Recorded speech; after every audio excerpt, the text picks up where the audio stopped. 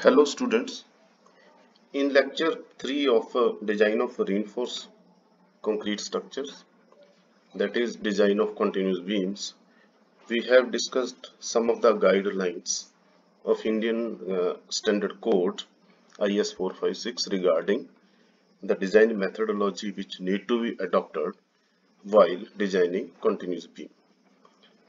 So design as well as analysis code is giving some recommendations or some limitations. So in lecture 3 we have discussed how to work out or how to calculate the effective span in case of a continuous beam. So today's topic let us uh,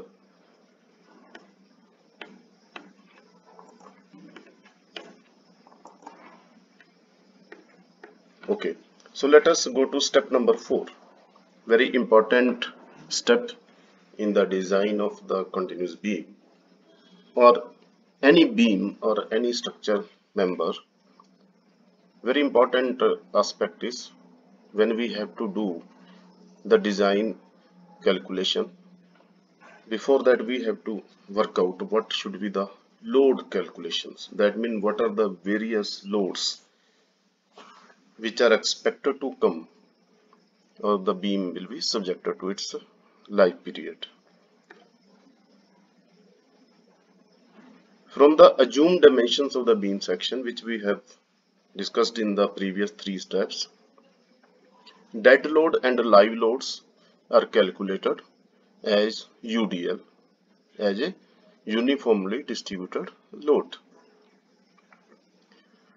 Then according to table number 18 from IS 456 we will be working out partial safety factor in case of limit state methodology of the design. So partial safety factor values will be taken from table number 18. Then factor design load will be worked out.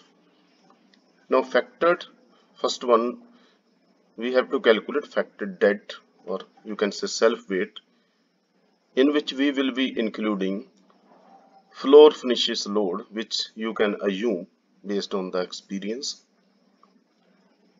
etc if required.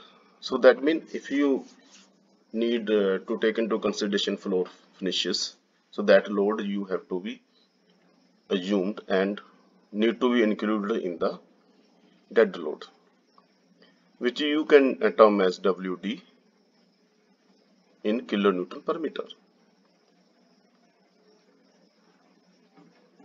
Be aware that in this factored dead load, first of all you will be calculating dead load of the beam member, then you will be applying it, multiplying it with a partial safety factor. Generally we take 1.5. For detail you have to refer this table number 18 so table number 18 you can refer. IS 456 then next is factored live load or imposed load. Now again code is suggesting us whether factored live load is a fixed load or is it a movable load. So you will be naming it as WL kilonewton per meter. Then we will switch over to step number 5 as we have already discussed a continuous beam, which is more than one span, is an indeterminate structure. So either you have to follow or use any indeterminate method, that is method to calculate the bending moment and shear force for indeterminate structure, just like Kani method, moment distribution method, or any other specific method which is relevant. But here, because uh, code is recommending an approximate method to calculate bending moment and shear force calculations. So some of the bending moment as well as shear force coefficients are given in the Indian Standard Code. So they are known as moment coefficients and shear coefficients.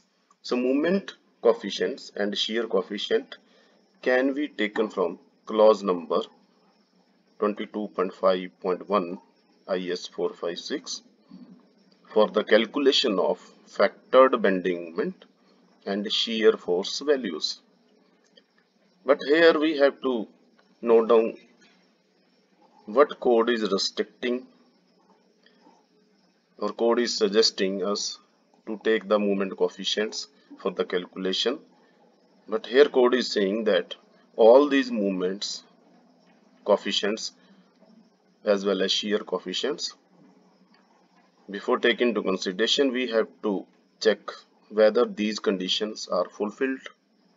So few conditions are suggested by code before just picking the moment coefficients and shear coefficients for the calculation of bending moment and shear force. So very first point is the continuous span should be at least 3 in number. So you can use these coefficients for calculation of bending moment. If the problem which we are going to deal with or you are designing then continuous beam should be having span numbers more than 2 that means it should be at least 3 span continuous beam. Then you can easily use these coefficients for the calculation of bending moment and you can easily use this approximation method which is giving the values which are very near to the values calculated with the help of indeterminate methods that is Kani method or moment distribution method. Second point is support should be fairly rigid and should not themselves deflect. So very important part is all the supports on which continuous beam is supported they should be rigid. That means there should not be any movement or deflection of the supports. Third point is all the spans should have the same cross sections. So that means if you need to vary the cross section of different spans then you have to do the calculation of bending moment and shear force maybe by moment distribution method which you have studied in structure analysis part 2 otherwise in general we will be using the same section throughout the different spans in case of design of continuous beam. But if there is any special requirement or special condition then you have to go through the moment distribution method for the calculation of bending moment. Fourth point is the effective length of each span should be more or less same. So because it is an approximate method so it is better to keep all the spans of equal length and at any rate should not if they are differ differing in the length that means if one span length is differing from the another span then code is saying that they should not differ more than 15% of largest span so these things we have to take into consideration.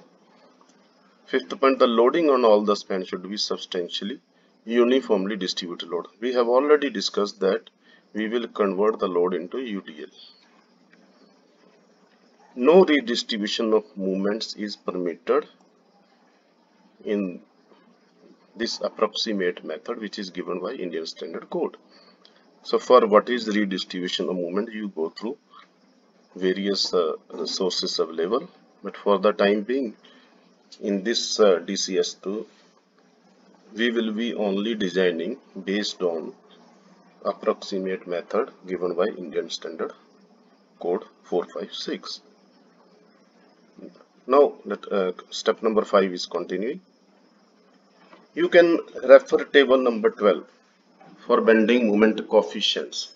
That means table number 12 in IS 456 is given from where you have to take these coefficients.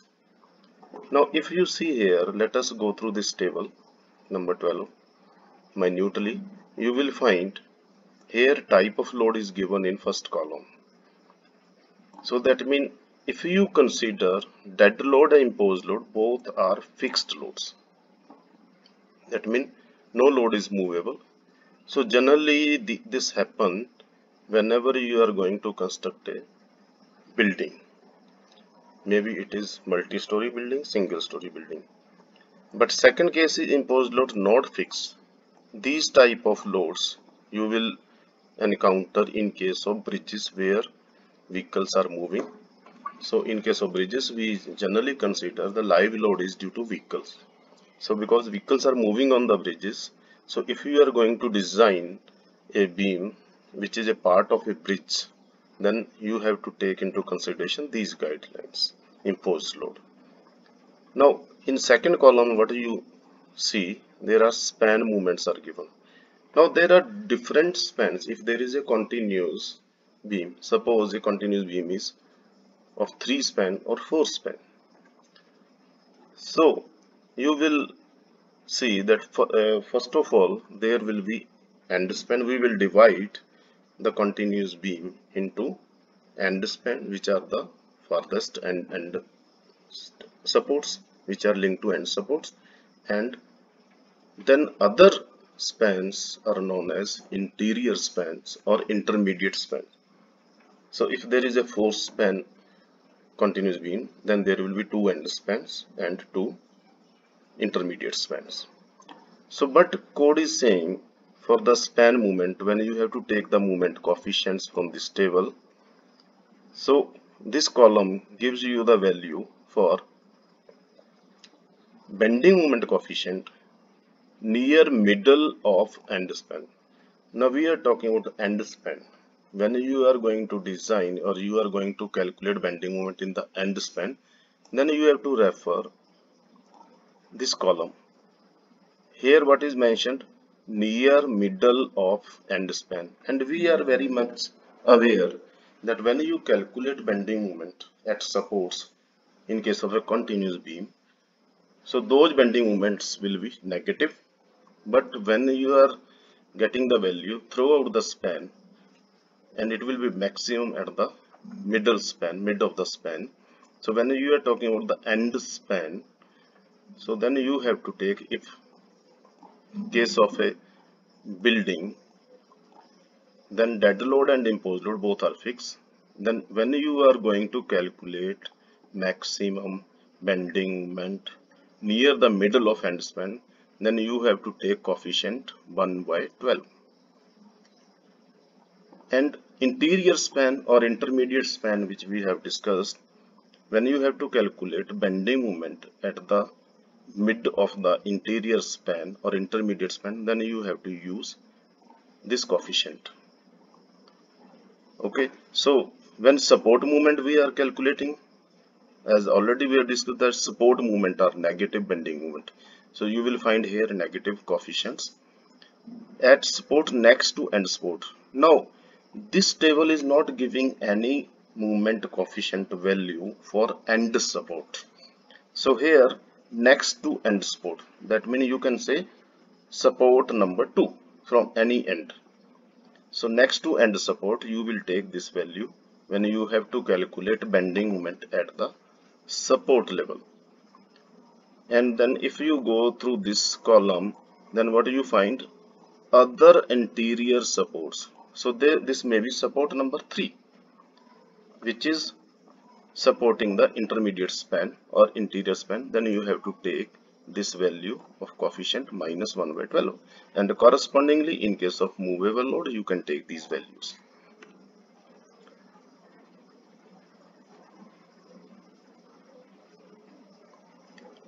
Now if you see here which we have highlighted so continuous beam and slab having fixed loading that is beam or slab in case of building as already discussed. And similarly you have to use these values when there is a moving load in case of bridges. So it is very much clear that in approximate method of calculation of bending moment which is given by Indian standard IS 456 you can take the values from this table. And that means then you have to uh, in the next slide we will be able to understand all these values more effectively. Now for shear force calculation you need shear force coefficients. This table number 13 in IS 456 just like this table number 12 we will refer table number 13 for the calculation of shear force value. That means shear coefficients we will take now here in this column you will find shear coefficients at end support. In these two columns you will find the shear coefficients support next to end support outer side and inner side. And at all other interior support you can take these coefficients. Now how to pick how to take the bending moment and shear force coefficients from the code for the calculation of maximum bending moment and shear force values so we have to refer we have to take the bending moment and shear force is calculated by using the relevant formula by multiplying with coefficient. Suppose there is a formula for calculation of bending moment anywhere, suppose it is WL square by 12, then 1 by 12 will the coefficient and WL square by will be the formula. Similarly, in case of shear force calculation, if you get the formula, suppose WL by 4, then 1 by 4 will be the coefficient and WL will be the formula. So that means whatever be the coefficient you pick from these tables, you will multiply them with WL square for the calculation of bending moment and WL for calculation of shear force. Bending moment as we discussed, they will be positive bending moment is calculated mid-span and negative bending moment near the supports.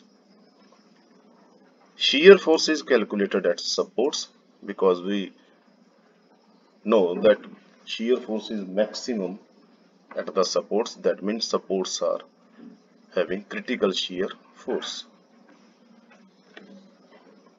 Now let us try to understand how to calculate bending moment in case of a continuous beam or continuous slab. Now if you see in this figure number 1, you will find this is a beam or if there is a continuous slab, even continuous slab you already have designed, you know that continuous slab is also designed as a continuous beam. So let us suppose this is a continuous beam. Now at the ends you, you are finding that these beam is supported at the ends on a brick wall. It is embedded into a brick wall. Its movement is restricted. It is not directly placed on the wall just like a simple support. It is a continuous beam. So it is embedded into the brick wall. Now this is your beam number 1, beam number 2 and so on. So here in this figure you will find this is a continuous beam having one two three and 4 spans and you will find this is end support, this is another end support. This support number 1, this is a beam which is supporting the another beam. So this beam dotted one shown, it will be acting as a support to the beam. So this will be the first support which is next to the end support. And support number 2 will be known as intermediate support Similarly, this support number 3 is also termed or designed as support next to the end support. Now in figure number 2, you can easily see here this, this is a brick wall and your beam is embedded in the brick wall. So that means it is not a simple support, it, it will just act like a fixed support because its movement is restricted. Now this span A is shown here similarly this beam number 1 which is shown here beam number 2 and then it is a continuous so we have taken a, some section of the continuous beam for the understanding purpose. So this is span A. Correspondingly this will be the span B. So it is very much clear that this A is the end span B is the intermediate span. So end span as interior span or intermediate. We have taken uh, this figure from RCC design book by Pillai Menon. So even for detail you can go through Pillai. So it's a wonderful book for design of RCC structure to understand the basic concepts.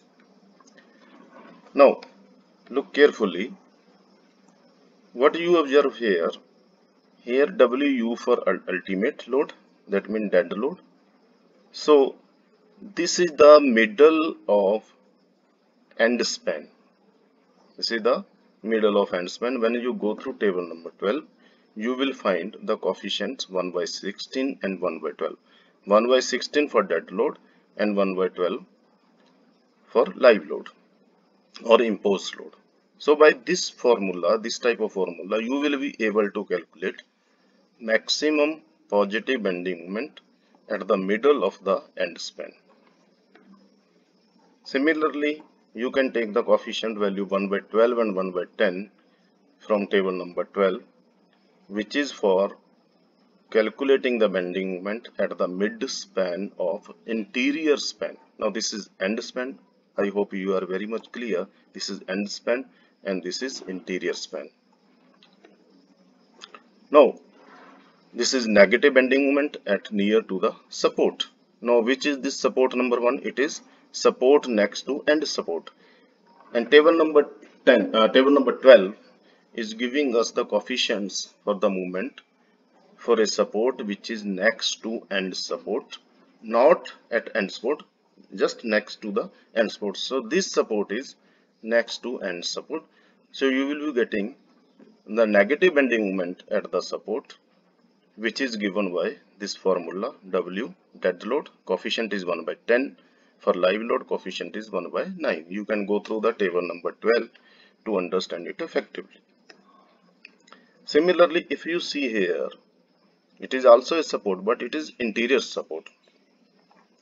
This support number 1 is next to end support, but this support number 2 is not next to end support. It is interior support. This support. You can see here this support.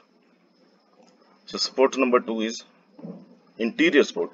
And when you have to calculate the bending moment, you have to pick the bending uh, moment coefficient from table number 12 then you will get coefficient 1 by 12 for dead load and 1 by 9 for live load. So we are taking both the negative. So it is very much clear that at the mid span you will be getting the bending moment positive bending moment. Here you are getting positive bending moment. And at the near to the support you will be getting negative bending moment and also in the interior support you will be getting bending moment which is negative. Now let us understand this. This is not given by code. Code is not giving any coefficient for the end support. So this is the actual formula wl square by 12 which you get from the structure analysis when you do the analysis. So here you are taking W L square by 12 here is this 24 is not taken as coefficient. It is a standard formula. So this is uh, at this support you will be getting negative bending moment so from this figure it is very much clear that you will be getting positive bending moment at the mid of span and negative bending moment at the support level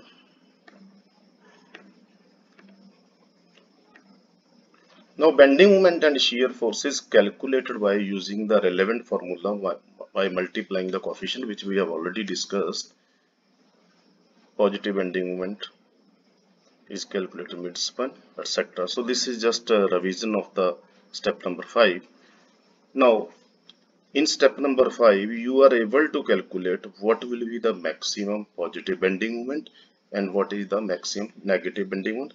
Similarly you have to calculate shear force at supports that is maximum shear force at support from table number 13 so I have skipped this calculation part of shear force so which is very much similar to bending moment you have to pick the shear force uh, shear coefficients from table number 13 just like we have picked it for movement coefficient from table number 12 so table number 13 you will be getting the shear coefficient and by multiplying it with WL you will be getting the shear force values. For detail when we design do the design problem we will be able to do it practically. Now step number six. Here code is restricting. Code is putting some limit. You have calculated bending moment but here code is giving you limiting movement of a resistance basically it is a check that you are applying a check based on grade of concrete grade of steel and based on the dimensions that how much is the maximum movement of resistance that is limiting movement of resistance which is allowed by IS 456 or you can say restricted by IS 456. Maximum bending moment obtained in step number 5 will be checked against MU limited as per code guideline we have already discussed by referring clause G1.1 that means you have to refer an annexure G for IS 456 where MU limited can be calculated by using the formula mentioned below. This formula is given in the IS 456 in annexure G. MU limited is given by this formula. K is a constant. FCK is depends upon grade of concrete, characteristic compressive strength of concrete and B and D are the dimensions of the beam. So based on the dimensions of beam, if you have fixed B value and D, that means dimension, cross section dimension is fixed, grade of concrete is fixed, then you have to get the value of K. This value of K depends upon grade of steel. So that means you are taking into consideration here grade of concrete, dimensions of beam and grade of steel and if you have fixed grade of concrete, grade of steel and dimension then how much maximum bending moment code is limiting or code is allowing that we have to calculate. Now grade of steel correspondingly if it is Fe250 then K value is 0.149 and similarly for other grade of steel. Now suppose you have a section which is having dimension B and D and grade of concrete is M20 and grade of steel is Fe415 so you have to put all the value and you will be able to get the MU limited. That means limiting movement of a resistance. And then you have to check it with the maximum bending moment coming through the calculation. Now for designing the section because code is restricting that we have to design a structure member as under reinforced section. So if your MU maximum which you have calculated in step number 5 step number 5 you have calculated and this is step number 6 that means MU limited restricted by Indian Standard Code should be more than maximum bending moment coming on the section. So if you follow this guideline then your section will be designed as under reinforced and if your MU maximum is greater than MU limited then you have to redesign the section. Thank you.